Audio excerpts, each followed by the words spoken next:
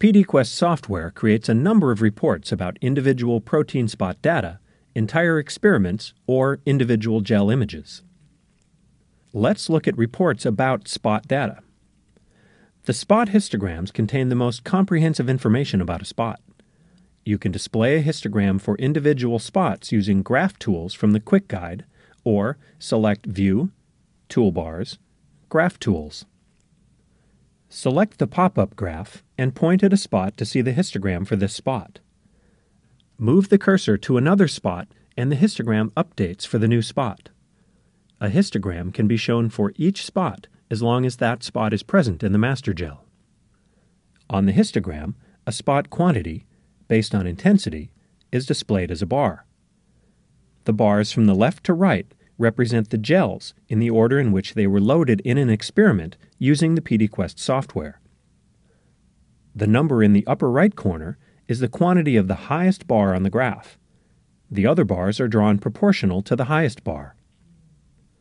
As soon as a spot is identified, it is cataloged with a unique SSP or standard spot number. The SSP number is displayed beneath the histogram and provides information about the location of the spot you can place the SSP grid overlay on a master gel by clicking F9 while holding the control key.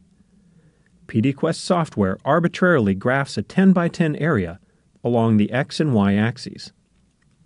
The squares can be of different size depending on the spot population in each square.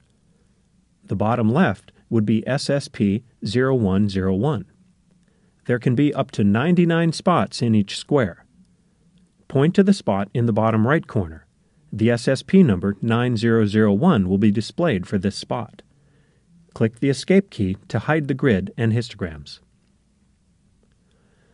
If you want to see several histograms for several spots, use Margin Graph or Column Graph. Both graphs can be displayed only on the master gel. Use the Graph Advance and Graph Retreat tools to work your way through the entire master gel and view the corresponding histograms. To see all the histograms at once, open the Spot Review tool in the Graph Tools, or select Analyze, Spot Review from the main menu.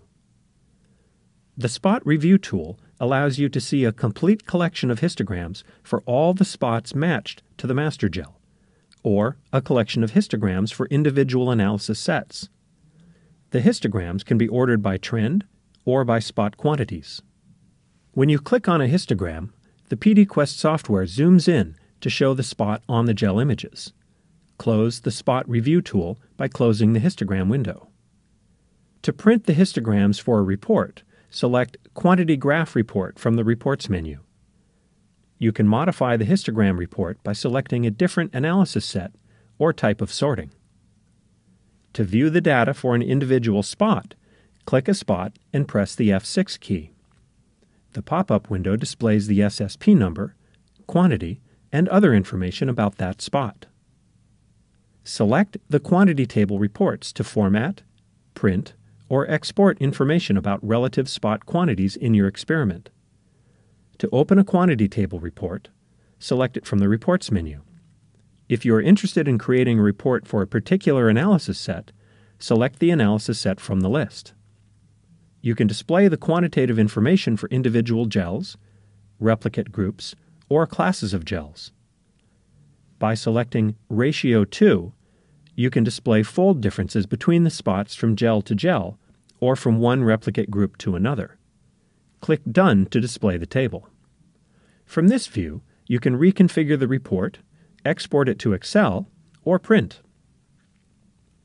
Select Report in the main menu to create reports about the analysis sets. For example, select the Analysis Set report to see a summary of all the analysis sets created during the experiment. Select Scatterplot to see the relatedness of each gel to all the other gels. You can also access scatterplots from the View menu to have complete access to comparison options between the gels, replicate groups, and choices for the scatterplot markers. The image report provides information about each image including the size, the area in pixels and millimeters, the data range, and the origin of the image data. If the image was obtained with a Bio-Rad imaging system, and opened in PDQuest software as a PDQuest file, not imported as a different file format, the image report displays the instrument settings that were used to acquire the image.